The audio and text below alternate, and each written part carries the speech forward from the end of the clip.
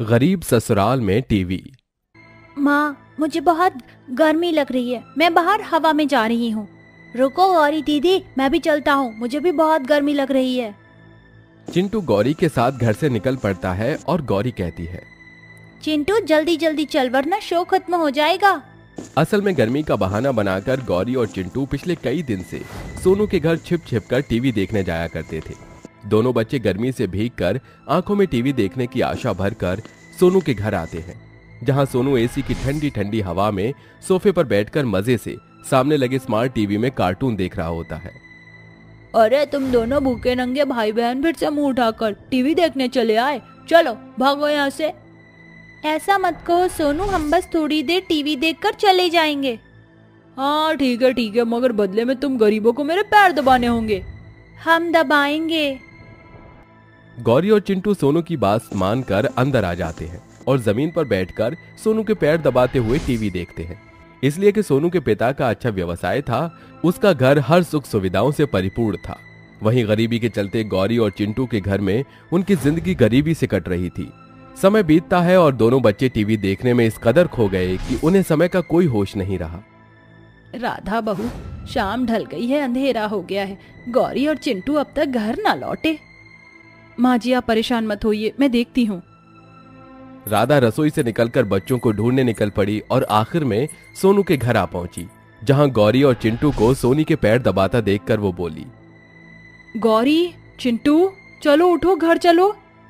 नहीं माँ मुझे घर नहीं जाना मुझे टीवी देखने दो।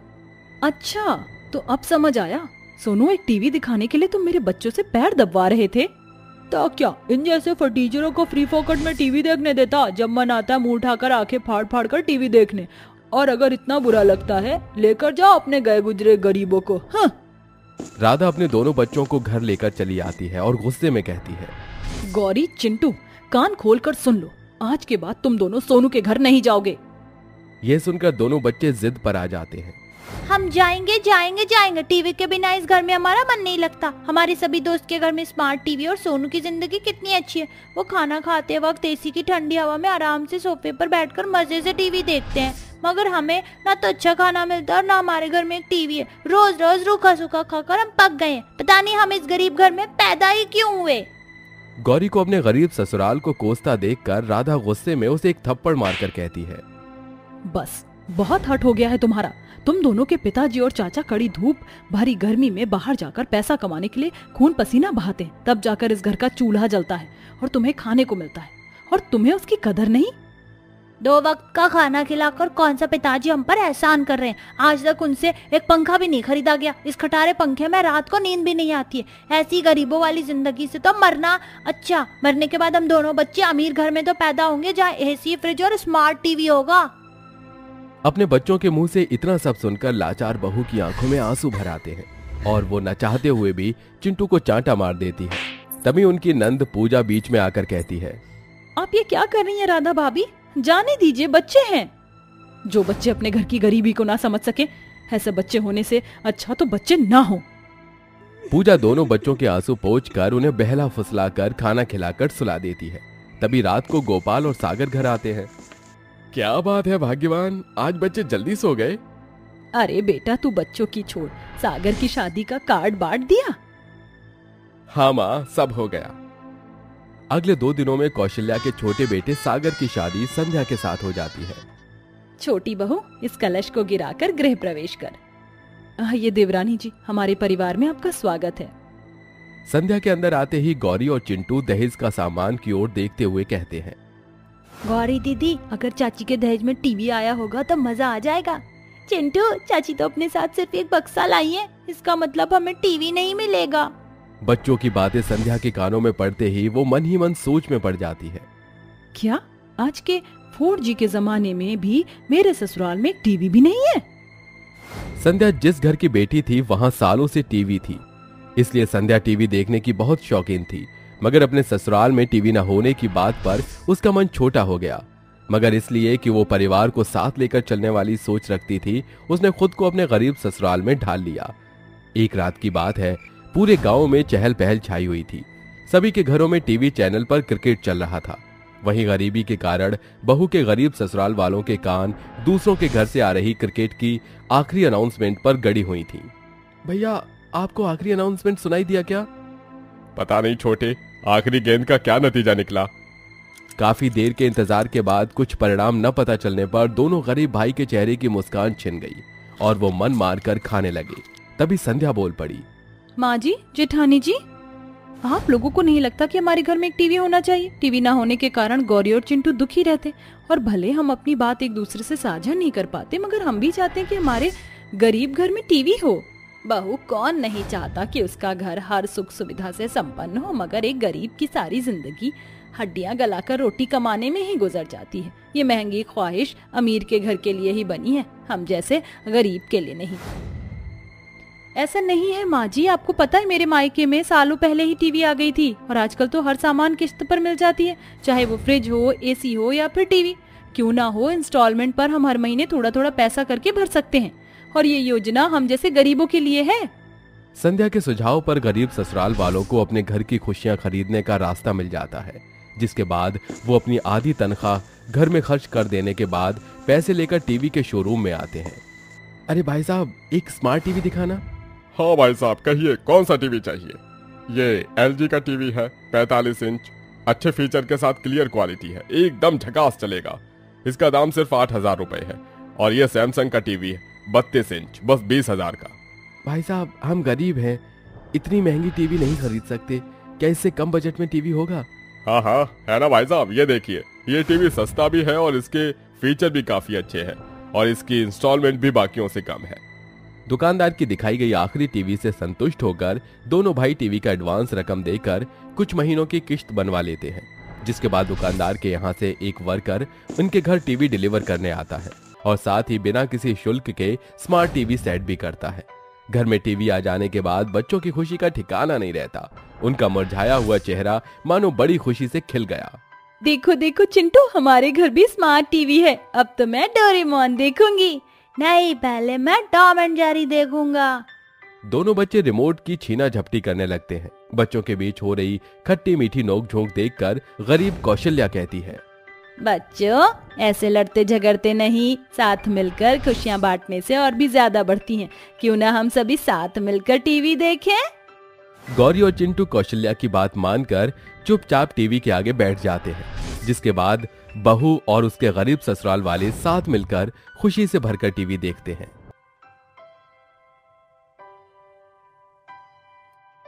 राधिका फ्रिज से ठंडा पानी निकाल कर पी रही होती है। कि तभी निर्मला उसे देख लेती है और उसके पास आकर उसका हाथ झटक देती है। समझती क्या है तू अपने आप को? अरे ये फ्रिज क्या फोकट का है जो तू इसके अंदर से पानी निकाल कर पी रही है। दादी माँ मुझे बहुत जोरों से प्यास लगी थी इसलिए फ्रिज खोलकर पानी पीने लगी। निर्मला राधिका का हाथ पकड़कर मरोड़ने लगती है। आ, आए, आ, माँ माँ बचाओ। दादी माँ प्लीज़ मेरा हाथ छोड़ दीजिए। मुझे बहुत दर्द हो रहा है। अरे ऐसे कैसे छोड़ दूँ? तेरा हाथ फ्रिज के अंदर से पानी निकालने से पहले तो तेरे हाथ में दर्द नहीं हुआ। लेकिन जरा सा हाथ क्या पकड़ लिया मैंने? तेरे हाथ में दर्द होने लगा। अपनी बेटी राधिका के चिल्लाने की आवाज़ सुनते ही उसकी माँ रेशमा फ़ौरन वहाँ पहुँच जाती है और अपनी बेटी को बचाने की कोशिश करती है। छोड़ दीजिए माँ जी। आप मेरी बेटी के ऊपर इतने अत्याचार क्यों कर रही हो? अरे एक पानी ही तो पिया है। कौन सा फ्रिज अपने मुँह में निकल गई है मेरी बेटी? अरे क्या पता तुम जैसे फकीरों का। कब कौन सी चीज़ निकल बैठो? अपनी बेटी को अच्छे से समझा दे। मैं इसे जरा भी इस फ्रिज के इर्द गिर्द देखना पसंद नहीं करती हूँ। जा ले जा इस कूड़े कचरे को। निर्मला के ऐसा कहने पर रेशमा अपनी बेटी राधिका को वहाँ से ले जाती है जिसके बाद राधिका अपनी माँ की गोदी में रोते हुए लेट जाती है और कहती है माँ माँ दादी माँ हमारे साथ ऐसा क्यों करती है? हमने ऐसा क्या कर दिया? जिसके चलते दादी माँ हमारे साथ इतना ज़्यादा भेदभाव करती है। कोई बात नहीं बेटी। तुम्हारी दादी की तो ऐसी ही आदत है। तुम उसे नजरअंदाज करो। चलो मैं तुम्हें खाना खिला देती हूँ। निर्मला इसी प्रकार अपनी पोती और अपनी बहू के साथ व्यवहार करती है। वो गर्मी में भी उन दोनों को फ्रिज का ठंडा पानी नहीं पीने देती। एक दिन निर्मला अपने बेटे को फ़ोन करके कहती है बेटा इतनी गर्मी हो रही है। एक काम करना। आज ऑफ़िस से आते हुए मेरे लिए आइसक्रीम लेते आना। ऐसा कहकर निर्मला फ़ोन काट देती है। शाम को जब विक्रम ऑफ़िस से वापस घर लौटता है तो उसके हाथ में आइसक्रीम होती है जिसे निर्मला अपनी बहू और पोती की नज़र पड़ने से पहले ही फ्रिज में लगा देती है और फ्रिज को लॉक कर देती है। कुछ ही देर में सभी लोग खाना खाने के लिए खाने की टेबल पर आते हैं। अरे बहू जल्दी जल्दी खाना परोस। मुझे बहुत जोरों से भूख लगी है। ये लीजिए माँ जी खाना खाइए। निर्मला खाना खाने लगती है। तभी राधिका को बहुत तेज प्यास लगती है। मुझे बहुत जोरों से प्यास लगी है माँ। मुझे ठंडा पानी चाहिए। निर्मला ये सुनते ही राधिका को घूर घूर कर देखने लगती है। अपनी दादी की नज़रों को देखते ही राधिका मुंडी नीचे करके खाना खाने लगती है। अरे तुम्हें प्यास लगी है? रुको मैं पानी लेकर आता हूँ। विक्रम जैसे ही पानी लेने के लिए उठने वाला होता है तभी निर्मला कहती है। अरे बेटा तुझे उठने की क्या ज़रूरत है? तू जानता है ना खाने के ऊपर से ऐसे नहीं उठते हैं। इतना काम तो तेरी बहन आरती भी कर देगी। जा आरती फ्रिज के अंदर से पानी की बोतल ले आ। आरती अपनी माँ की चाल समझ जाती है जिसके चलते वो चुपके से निर्मला से चाबी ले लेती है और फ्रिज को खोलकर उसके अंदर से पानी निकाल लेती है। सभी लोग खाना खाकर अपने अपने कमरे में जाकर सो जाते हैं। वहीं दोनों माँ बेटी अपने कमरे में बैठकर मज़े से आइसक्रीम खा रही होती हैं। अरे वाह माँ क्या स्वादिष्ट आइसक्रीम है। इतनी गर्मी में ऐसी आइसक्रीम खाने का मज़ा ही अलग है। अरे हाँ हाँ क्यों नहीं? स्वादिष्ट तो होगी ही।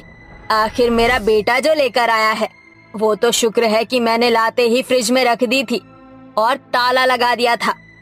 वरना तो उन दोनों भुक्कड़ माँ बेटी से ये बचती ही नहीं। और अगर उसकी नज़र पड़ जाती तो हमारे पेट में भी जाकर पच नहीं पाती। दोनों माँ बेटी आइसक्रीम के मज़े ले रही होती हैं तो वहीं दूसरी तरफ़ राधिका ये सब दरवाजे पर खड़ी होकर सुन रही होती है। उसे बहुत दुख होता है लेकिन वो किसी से कुछ नहीं कह पाती। ऐसे ही दिन प्रतिदिन राधिका की तबीयत अपने आप ही खराब होने लगती है। अरे ये क्या? राधिका का शरीर तो बहुत बुरी तरह तप रहा है। एक काम करती हूँ इसे डॉक्टर के पास लेकर जाती हूँ।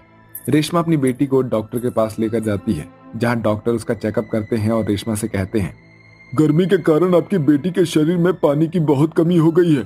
शरीर में प्लेटलेट्स गिर गई है। लेकिन अब थोड़ा ध्यान रखना ग्लूकोज और नींबू पानी बनाकर पिलाते रहना। जितनी ठंडी चीज़ें हो सके उतनी ठंडी चीज़ें खिलाना।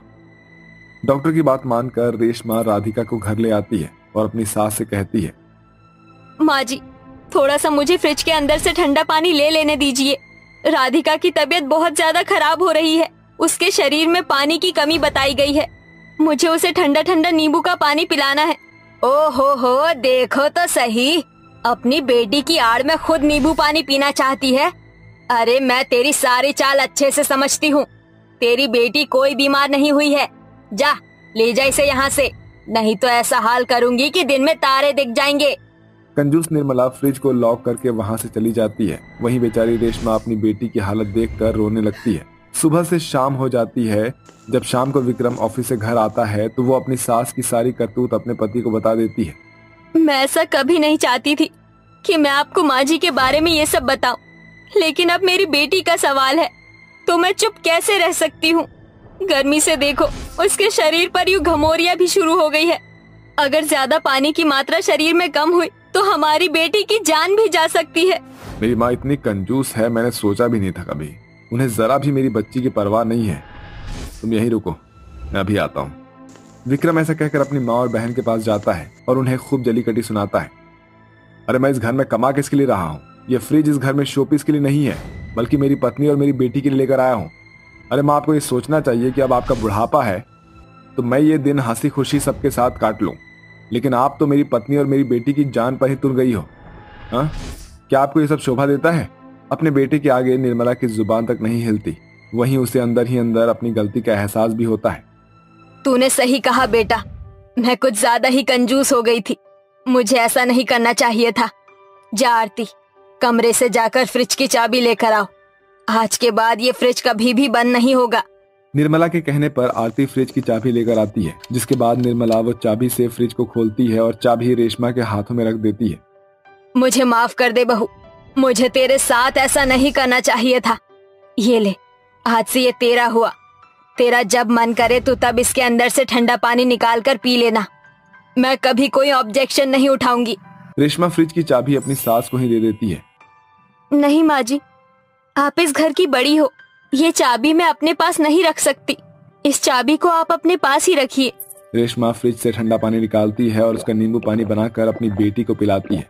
वहीं दूसरी तरफ़ फ्रिज के अंदर से वो आइस क्यूब निकाल कर अपनी बेटी के शरीर पर लगाती है ताकि उसकी घमोरिया भी ठीक हो जाए। कुछ ही दिनों में राधिका बिल्कुल ठीक हो जाती है जिसके बाद दोनों गरीब माँ बेटी अपनी सास के साथ खुशी खुशी रहने लगती है।